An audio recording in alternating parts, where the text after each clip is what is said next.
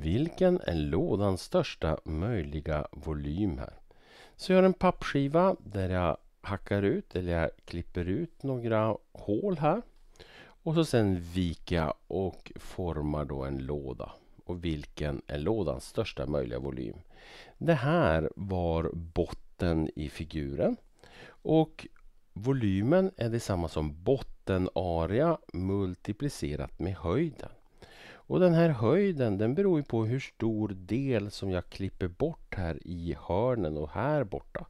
Så vi kan säga att det där är x och eftersom jag klipper bort kvadrater så är den också x. Så den är x, den är x. Sådär. Och den är också x, den är x och den är x och den är x. Alla de där utklippta eh, delarna då har sidlängden x. Och nu behöver jag för att kunna räkna ut volymen så behöver jag veta bottenarean. Hela den här längden det är lika långt som hela den längden och den var 100 cm. Så hela sträckan här är 100 cm. Men sen ska jag ta bort ett x här och ta bort ett x här. Så då får jag 100 minus 2x. Det blir den här längden då, den längden. Och den här andra längden här borta.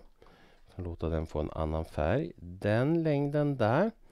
Den tillsammans med den är hälften så lång som hela den sträckan. För den sträckan är lika lång som den sträckan och den är lika lång som den. Så kan jag ju dela det här i två stycken lika stora delar. Så den här biten plus den biten är hälften av 160, alltså 80. Så den här sträckan är 80. Då måste den där sträckan vara 80 minus x. Sådär. Och nu så har jag ju de båda mått som jag behöver för att kunna räkna ut arean här. Och multiplicerar jag sen med höjden så får jag volymen. Så jag kan teckna min volym. Min volym V är detsamma som basen då. Den här gånger höjden eller längden gånger bredden hur man nu vill se det. 80 minus x. 100 minus 2x. Så här har jag bottenarean. Sen ska jag ha höjden här. Så när jag viker upp den här så får jag ju höjden x. Sådär. Där har vi uttrycket för volymen. Nu ska vi ta och räkna ut vad det här blir. Jag tar och multiplicerar in parenteserna i varandra. Så jag får 80 med två nollor till. Minus 160x minus 100 x plus två stycken x i kvadrat inom parentes gånger x. Sådär. Och det jag nu gör det är att jag multiplicerar in x i den här parentesen och så sen kan vi sätta den termen först. Då har jag två stycken x upphöjt till 3 sådär. Sen så har jag då minus 160x minus 100x. Det här är minus 260x som jag sen ska multiplicera med x. Så blir det minus 260x i kvadrat. Sen har jag plus 8000 x på det där sättet. Så, så här har jag mina Eh, här har jag mina termer då som ger min volym. Sen så tar jag och deriverar för att kunna hitta min eventuella maximala volym då. Så deriverar jag och så sätter jag derivatan lika med noll och så sen så tar jag och visar att det här jag får fram måste vara en maximipunkt och så är jag framme då. Så jag tar och deriverar. Så v' av x är lika med 2 gånger 3. Det blir 6 stycken x upphöjt till 2 minus och så sen 200 260 gånger 2 det är 520. 520x plus 8000 sådär. Sen tar jag och tar fram andra derivatan för jag kommer att behöva den. 6 gånger 2 det är 12x minus 520 sådär. Och nu sätter jag derivatan lika med 0 så får jag att 6x i kvadrat minus 520x plus 8000 är lika med 0. Sådär. Och det jag gör sen är att jag dividerar samtliga termer med 6. Och 520 delat med 6, det är inget sånt där snällt tal. Så jag skriver här x i kvadrat minus 520 genom eh, 6x plus eh, och så funderar jag lite grann 8000 delat med 6. Det är inte heller något riktigt snällt tal så jag skriver 8000 genom 6 där lika med 0 sådär.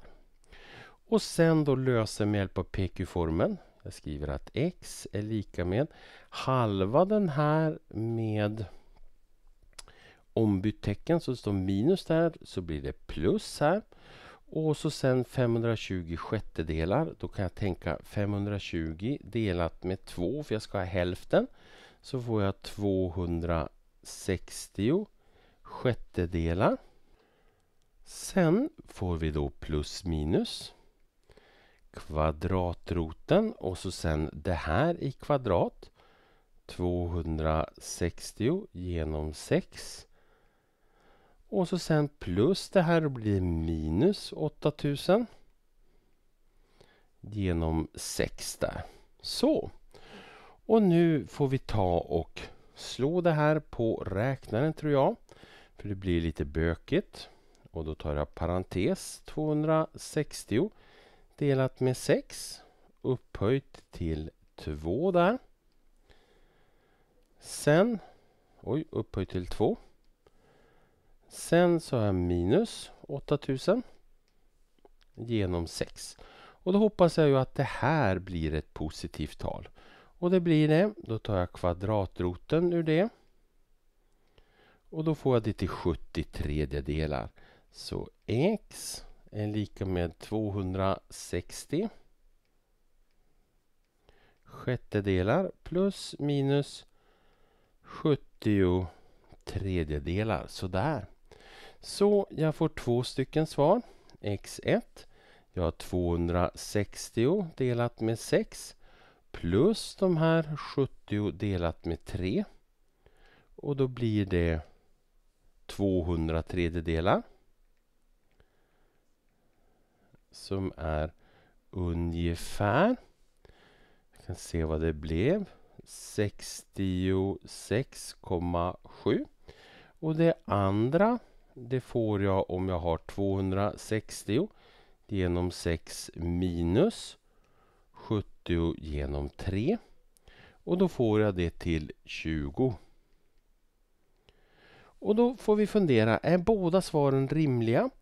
Och då kommer vi att se att det är de inte därför att om x här är 66,7 cm då måste det där x vara 66,7 cm och då blir den plus den mer än, äh, mer än 100.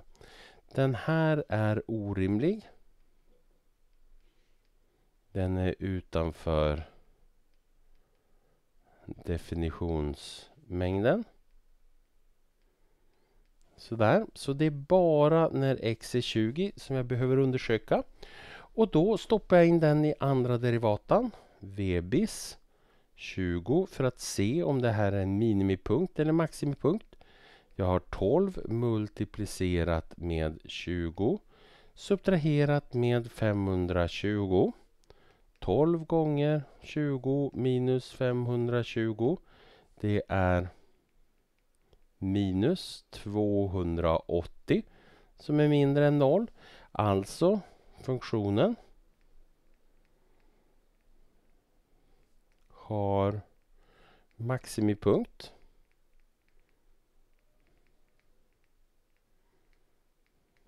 När x är lika med 20. Sådär. Så när x är 20 så har vi en maximipunkt. Vi kontrollerar igen vad vi ska svara. Vi ska svara vilken som lådans största volym är. Vilken låda eller vilken volym som lådan kan ha som störst. Så jag stoppar då in det här då i funktionen. Så jag får V av 20 lika med. Och så får vi då parentes.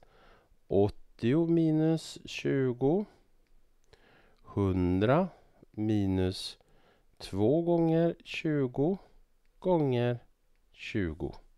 Och det här då så skriva lika med där så jag inte tappar något sånt. Då får vi slå det där. Parentes 80 minus 20 det är ju 60 om jag vill men vi tar och är lite lat här. Minus 2 gånger 20 slutparentes gånger 20 så håller vi tummarna 72 000 så 72 000 och måtten är i centimeter så blir det centimeter kvadrat. Så då ska jag bara författa mitt svar här. Eh, svar. Lådans största möjliga volym är 72 000 kubikcentimeter. Det ska stå en kubikcentimeter där, inte en tvåa. Så där, jag orkar inte spela om hela filmen igen. Men det ska stå kubikcentimeter eftersom det är en volym och ingenting annat. Så,